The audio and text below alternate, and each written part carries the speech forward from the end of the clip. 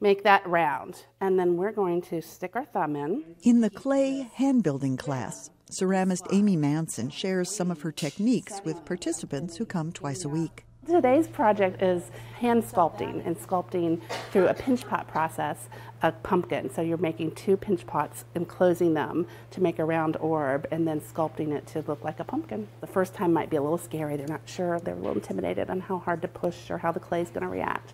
But after one time, they get a little more confident. Once you've got the air trap, you can still sculpt and fix and do what you need to do.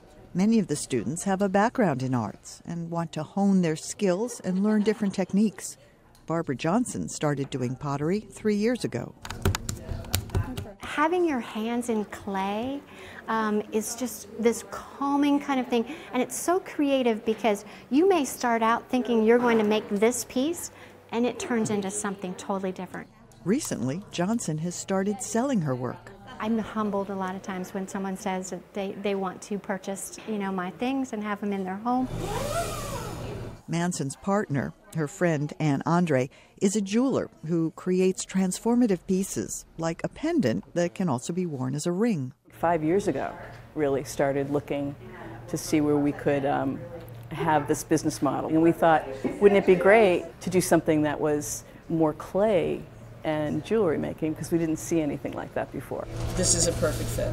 Andre teaches jewelry making classes they hammer the metal, they get an effect, you know, that they never thought they could do themselves. They form something like a bracelet, and it's just, um, they're excited. They think, I made this. And they go out wearing it, which is really nice. That's how Jennifer Medish feels when she wears the pendant she made. I love turquoise. I'm a, I'm a country girl, grew up around horses. Turquoise has always been just kind of a symbol of that rustic look. Considering a second career beyond horses, she's finding a potential in jewelry making. I feel that there has been such a revival of handmade items that people there are they're more willing to pay for something that is made by a single artist than something that is mass produced. And then you can feel how much clay is in the bottom. The founders of Clay and Metal Loft want to be part of that revival.